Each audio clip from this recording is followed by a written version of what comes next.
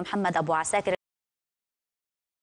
على كل المزيد معنا في الاستوديو محمد أبو عساكر المتحدث باسم مفوضية الأمم المتحدة لشؤون اللاجئين. أهلا بك. سيد محمد يعني ربما ما ما أشرنا إليه في هذا التقرير وما ظهر هو جزء بسيط مما يحدث على الأرض. ماذا أنتم بفاعلين؟ أعداد اللاجئين تزداد المعاناة ترتفع. نعم عدد اللاجئين تزداد بالفعل في في العام الحالي 2013 فقط. تم تسجيل أكثر من مليون لاجئ سوري وهذا يفوق توقعات المفوضية. الآن لدينا مليون وستمائة ألف من اللاجئين السوريين مسجلون في المنطقة في دول الجوار.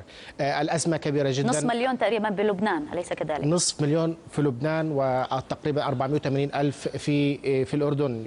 يقارب على نصف مليون كذلك.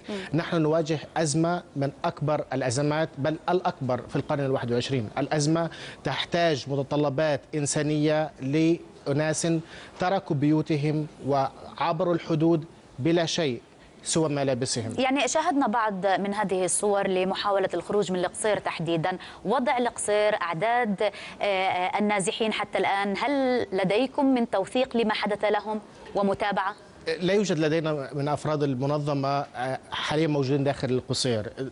وردت إلينا تقارير تفيد بأن هناك ما يقارب من 700 إلى 1000 من المصاب من المدنيين لم يتم الوصول إلى المنطقة من الداخل. نحن نأمل أن يتم تسهيل مهمة منظمات دولية ورجال العمل الإنساني لكي يقوموا بإسعاف المدنيين. كيف من, بحاجة. من خلال ممرات آمنة؟ هل هذا مطلب الآن مطروح على الطاولة عند النظام السوري ولا لا؟ نحن نتحدث عن الوصول إلى من هم بسعادة من هم بحاجة للمساعدات الإنسانية، ليس فقط منطقة القصير، هناك مناطق عديدة في داخل سوريا متأثرة بالنزاع. لديكم شهادات هناك أليس كذلك؟ يعني استطعتم إلى الوصول لبعض المناطق. نعم، نحن وصلنا إلى 13 محافظة في داخل سوريا من أصل 14 محافظة. خبرنا عن وضعهم.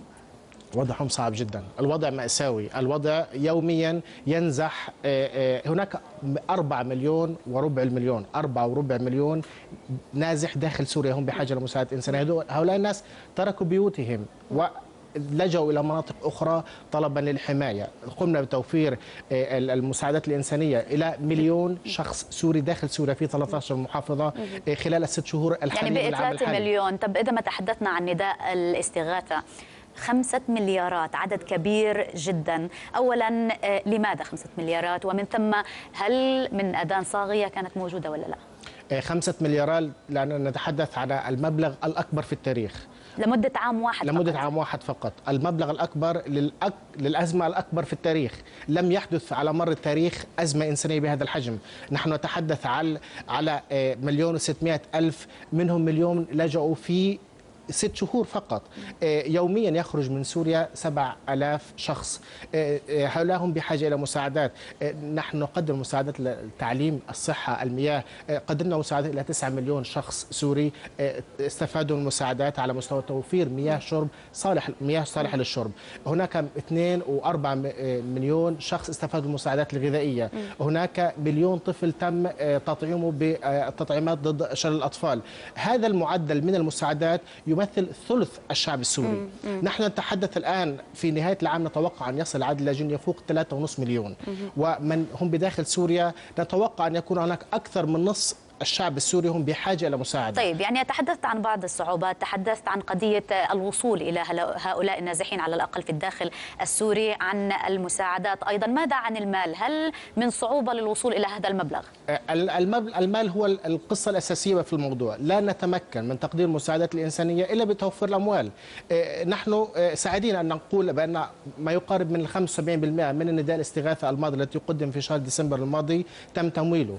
لذلك نحن طالب الآن المبلغ كبر. المبلغ عذرا هذا المبلغ لا دخل له بالخمسة مليارات ولا هو, هو جزء, جزء هو من جزء. هذا هذا في نداء الاستغاثة. يعني 75% من الخمسة مليارات مؤمنة؟ 75% من المليار من المليار ونص فقط. مم.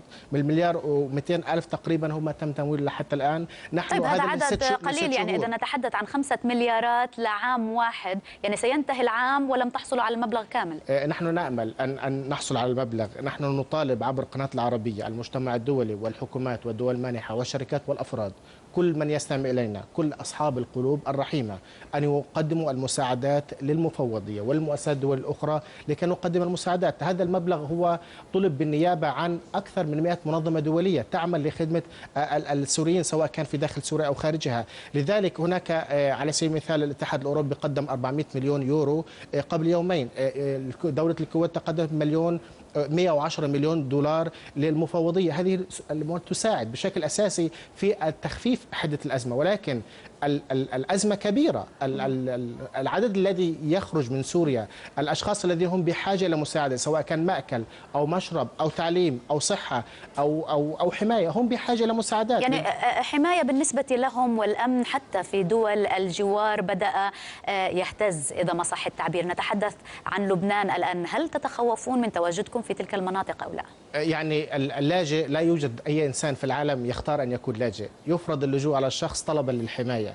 لذلك عندما يكون في دولة مجاورة أو في دولة أخرى هو يطلب الحماية. نحن نأمل نحن نتفهم الظروف الصعبة التي تعيشها دولة لبنان ولكن نأمل في نفس الوقت أن يكون منأى اللاجئين السوريين عن عن كل التجاوزات السياسية في داخل لبنان. نحن نتحدث عن الأردن كذلك. هناك أزمة اقتصادية هناك أزمة في المياه. نحن يوميا نرسل 3.5 مليون لتر مياه إلى مخيم الزعتر وحده. من دولة تعاني أصلا من أزمة المياه. لذلك نحن نقدر الدور الذي تقوم به الدول الجوار بإبقاء حدودها مفتوحة واستقبال اللاجئين السوريين على الرغم من الصعوبات الجمة التي تواجه هذه الدول في في التكيف وتوفير الخدمات الأساسية لأبناء ولم شعبها. نتحدث حتى عن تركيا ولكن محمد أبو عساكر المتحدث باسم مفوضية الأمم المتحدة لشؤون اللاجئين. شكرا جزيلا لك على تواجدك معنا. شكرا لك.